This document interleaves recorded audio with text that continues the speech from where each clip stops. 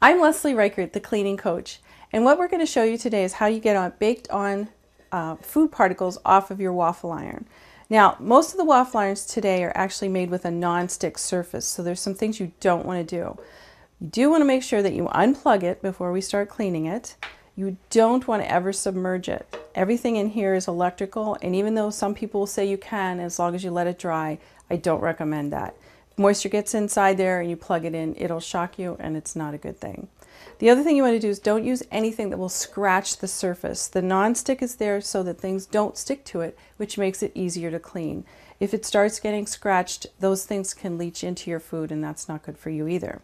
So what you're going to do is if you have some items that are on there that are just burnt on, I'm going to recommend just putting a nice hot wet cloth on there and closing it up and letting it sit for a few minutes. That's going to loosen up the particles and they're going to be easy to get off.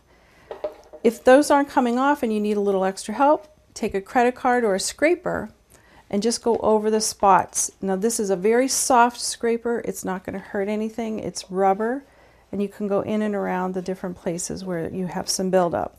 Again, the credit card will work just the same way. It's plastic and it won't hurt anything. Then what you can do is take some warm soapy water, this is a special sponge made for non-stick surfaces so it won't scratch anything. You can go down inside it with the hot water. So that's all there is to it. Just rinse it off with some hot water. If you want to, you can use some soapy water, but make sure you rinse it, dry it, and put it away. That's all there is to it. Happy cleaning!